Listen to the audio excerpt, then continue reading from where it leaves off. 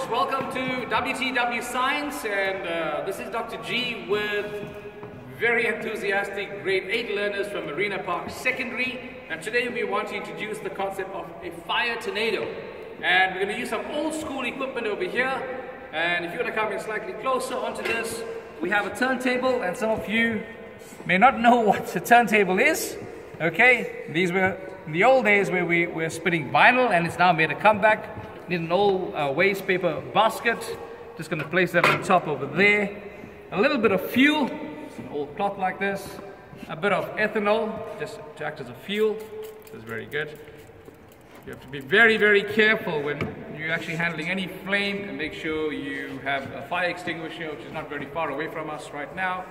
And uh, be very, very cautious uh, when lighting anything. All right, so going to place that over there.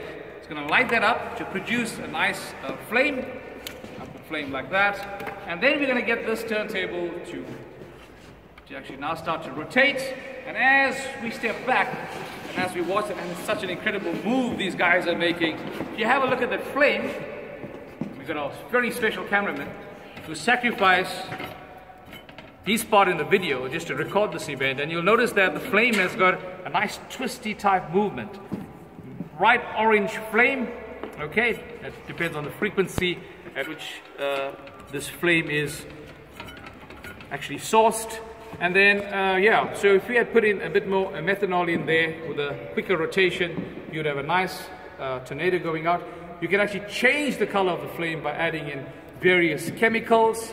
And it's interesting when you look at forest fires, you know, you could be tens of kilometers away, and before you know it, you'd be surrounded by fire. And it's really nothing more than all these trees, just like the dustbin, acting as a as some sort of mirror and getting these things to flux through.